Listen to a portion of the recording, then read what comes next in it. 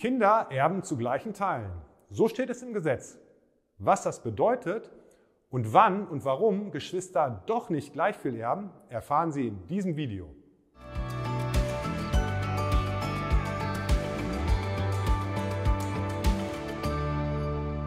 Hallo, ich bin Bernfried Rose von der Erbrechtskanzlei Rose und Partner.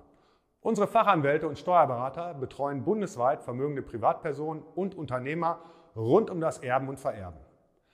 Beim Erben hat jeder so seine eigenen Vorstellungen davon, was gerecht und fair ist. Das gilt vor allem unter Geschwistern. Wir gucken uns jetzt an, warum in der gesetzlichen Erbfolge Geschwister grundsätzlich gleich viel erben, wie die Eltern das durch ein Testament ändern können und wie weit sie dabei gehen dürfen, wie berücksichtigt wird, dass ein Kind schon zu Lebzeiten Vermögen als Schenkung erhalten hat oder die Eltern unterstützt hat und was Geschwisterkinder unbedingt tun sollten, um beim Erben nicht zu kurz zu kommen. Kinder sind gesetzliche Erben erster Ordnung. Das heißt, dass Kinder vom Vater und der Mutter immer etwas erben, wenn die gesetzliche Erbfolge greift, wenn also kein Testament vorliegt. Sie müssen sich dann das Erbe allenfalls noch mit dem Ehemann oder der Ehefrau des Verstorbenen teilen. Aber wie viel bekommt das einzelne Kind? Kinder erben zu gleichen Teilen. Das bedeutet, dass alle Kinder die gleiche Erbquote haben. Und wenn ich alle Kinder sage, meine ich damit auch Adoptivkinder und natürlich auch uneheliche Kinder. Zwischenergebnis also, Geschwister erben nach dem Gesetz gleich viel.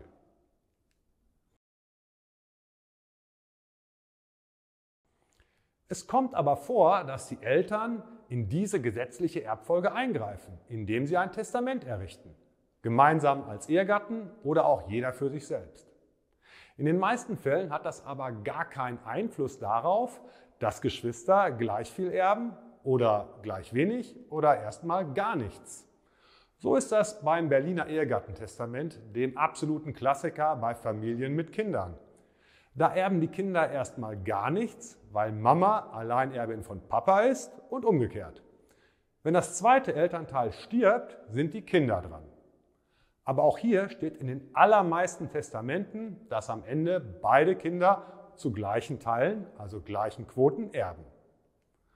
Möglich ist aber auch, dass ein Kind bewusst im Testament gegenüber seinen Geschwistern bevorzugt bzw. benachteiligt wird dann erben tatsächlich nicht alle Kinder gleich viel.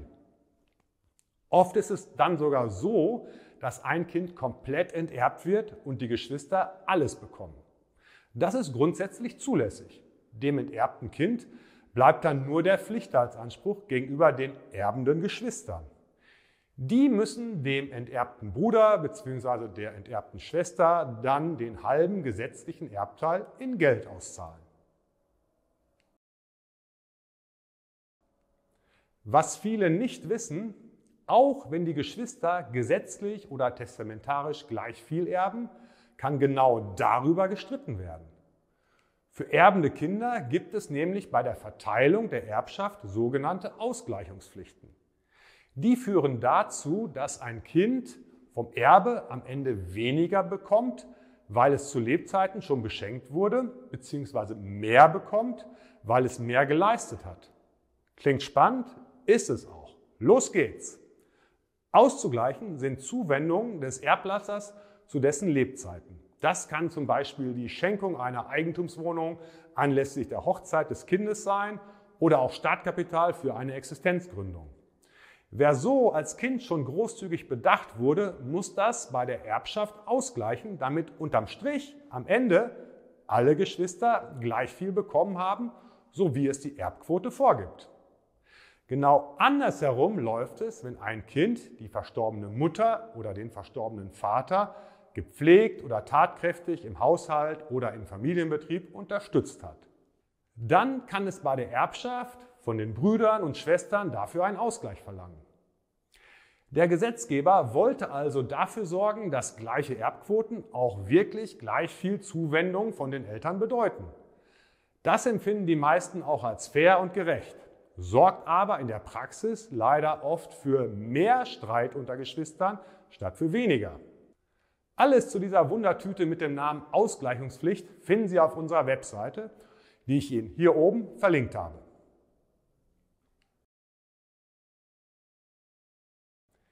Jetzt gibt es die Top-Praxistipps unserer Fachanwälte für alle, die Geschwister haben und beim Erben nicht zu kurz kommen wollen. Wenn Sie von Ihren Eltern zu deren Lebzeiten großzügige Geschenke bekommen, bitten Sie Ihre Eltern im Testament anzuordnen, dass diese bei der Erbschaft ausdrücklich nicht auszugleichen sind. Wenn Sie Ihre Eltern dagegen pflegen oder ihnen in anderer Weise tatkräftig zur Hand gehen, sollten diese das zu ihren Gunsten im Testament berücksichtigen, und zwar so konkret wie möglich. Wenn sie von ihren Eltern enterbt wurden, machen sie im Zweifel Pflichtheitsansprüche geltend. Dafür haben sie drei Jahre Zeit. Pflichtheitsansprüche kommen auch dann in Betracht, wenn sie zwar geerbt haben, aber weniger als ihren gesetzlichen Erbteil oder weil der Nachlass aufgrund von Schenkungen an ihre Geschwister beim Erbfall nur noch wenig wert ist. Gegen ein Testament, das sie gegenüber ihren Geschwistern benachteiligt, können sie gegebenenfalls vorgehen. Zum Beispiel, weil sich ihre Eltern beim Testament geirrt haben, weil sie von ihren Geschwistern getäuscht wurden oder weil sie geistig nicht mehr in der Lage waren, wirksam ein Testament zu errichten. Leider gibt es häufig selbst dann Stress, wenn alle Geschwister gleich erben und das Thema Ausgleichungspflichten keine Rolle spielt. Das liegt dann immer daran, dass man sich mit seinen Geschwistern in einer Erbengemeinschaft wiederfindet, also einer Zwangsgemeinschaft mit viel Konfliktpotenzial, wenn es darum geht, was mit der Erbschaft geschieht und wie sie aufgeteilt werden kann. Dazu gibt es hier auf dem Kanal die passenden Videos und auf unserer Kanzlei-Webseite ausführliche Infos und natürlich Beratung. Machen Sie es gut und behalten Sie Recht.